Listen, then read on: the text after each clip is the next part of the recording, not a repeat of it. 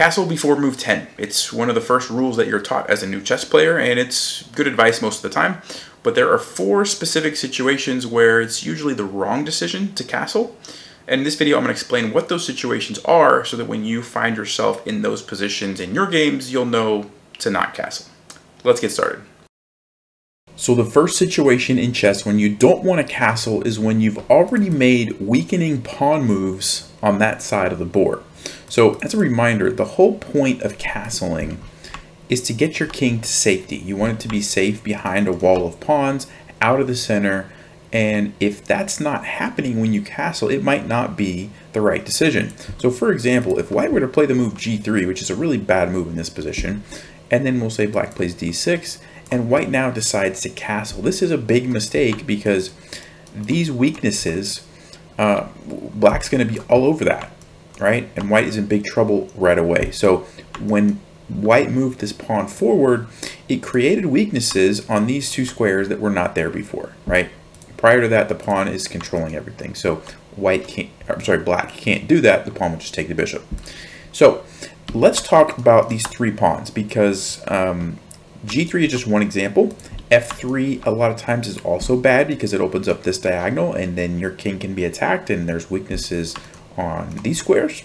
And then even H3 sometimes can be bad, although H3 is probably the one pawn that if you're going to move a pawn forward, this is usually okay because these squares are still covered and actually a lot of times towards the end of the game, if you're worried about back rank mate, h3 is a good move to play anyway because it gives your king some breathing room and you have a, a space to escape to if you need to. So, so if you do want a castle and the h pawn is moved up one square, that's probably okay most of the time. You do have to be careful. Like in this case, the bishop's pinning this pawn. So theoretically, black's queen could go there or black's knight could end up there and, and you couldn't take it because of the pin. So, you know, it does create a weakness, but this is one of the better ones if you have to choose. And one more thing I'll say about the move g3, you actually see a lot of high-level players that will fianchetto the bishop behind the pawn.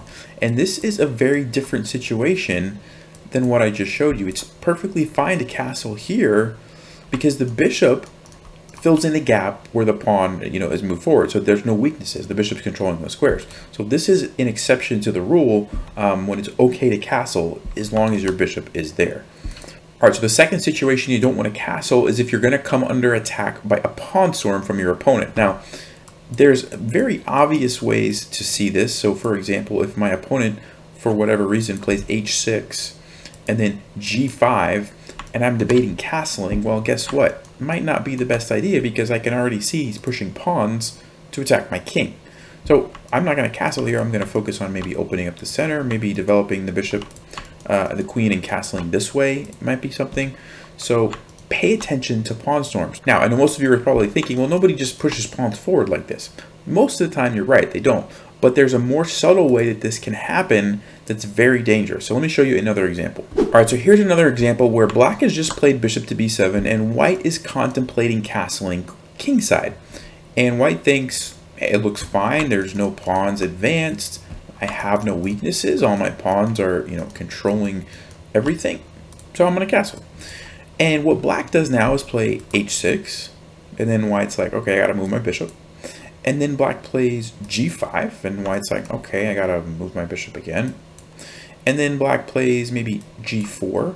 And now white has to move his knight. And now in this case, knight h4 is pretty good. It kind of blockades the position.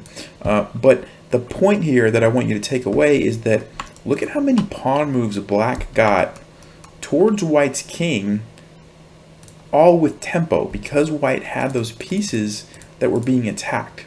And so this is something to pay attention to. If you have pieces like this that can be attacked by pawns, your opponent's going to be able to create an attack with tempo, and it can be very dangerous because in this case, white didn't have time to you know counterattack in the center or finish developing. They had to move their bishop. And again, had to move the bishop. And now in this case, like if I'm black, I'm probably going to play like e6 first to defend the pawn, and then I'm going to play h5 next. Let's say knight b to d2, h5. And now white has to be really careful. I mean, this is a serious attack, right? h4 is threatening to, to maybe trap the bishop, then g4 is coming, and the knight's not gonna have can't go there anymore because now the queen and and white's gonna be probably in trouble. So right here at this moment when white decided to castle, if I'm playing this position, I'm probably gonna think twice. And I'm gonna wait maybe a move or two, or maybe I'm gonna play knight b to d2 first. I'm gonna see what black does. Maybe black will will go here. Because now if I castle and black plays h6, I have the option to just trade this off and I don't lose a whole bunch of tempo or tempi, whatever it is, on my pieces, right? So I can take here and then let's say takes. And black can still do this plan, but now at least I get some time. I can go ahead and counterattack in the center. I have, I have some uh, time to do something, right? So that's a very subtle difference, but it makes a huge difference in a lot of games. All right, situation number three when you don't want to castle is when your king is actually just safer staying in the center. So let me show you an example. Here's the French defense. And I don't play the French, but it shows a very good point. So uh, this is one of the main lines where black trades off the bishop, brings the knight here, and then white plays the move queen to g4, attacking this pawn on g7. Now, one of the main lines that black can play is actually castling. It's perfectly playable, but the problem is now black has to really start defending, okay, because white's going to play bishop to d3, line up over here. This bishop can come in to g5, h4 is an option. The knight can come in. You know, the queen's already well placed. It can easily go lots of different places. And black's going to have to do some, some defending and try to counterattack over here on the queen side. But an alternative and another move that is very, very strong is this, this the move king to f8. And you might say, wow, isn't that like bad? Well, no, it's not because it defends the pawn. And the center is locked up. These pawns can't do anything, right? So because of that, this is actually, I would say, safer for black than castling. Because if something happens over here where like all these pieces start coming in and, you know, whatever, black has to get away, you can always move back here and run over here and, and be totally fine. If go back, if I had castled here, I can't just move my king over there. I'm going to be stuck. I'm going to get blocked by my pieces. I, I have to stay over here and defend and hope for the best. So, the takeaway, sometimes it's better to keep your king in the center or do a move like king f8 because it's safer. And this is a very case-by-case basis. This is not a general rule, but in certain situations when the center of the board is locked up, that's when you want to be looking for moves like this sometimes instead of actually castling.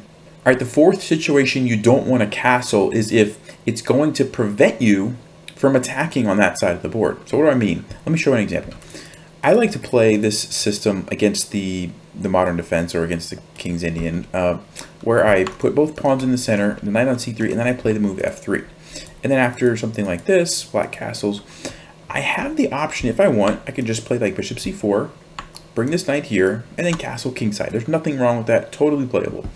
But if I do that, uh, we'll say black makes some moves, I'm not going to be able to attack black's king anymore unless I'm willing to really put my king at risk by pushing these pawns forward.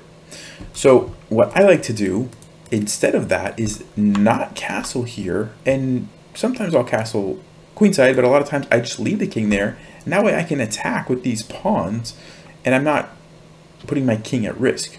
Right, I leave the pawns over here, uh, but by castling there, I'm essentially saying, okay, I'm not going to be able to attack on the on the king side anymore, at least not easily. So this is kind of a rare situation when, when you're going to find yourself in these moments, but it's definitely something you want to keep in mind if you are planning on trying to attack your opponent, like I like to do in the system with moves like g4 um, and h4. I don't want my king to be over there. So that's reason number four. Hey, thanks for watching. I hope you learned a thing or two about when to not castle in chess. As always, stay sharp, play smart, take care.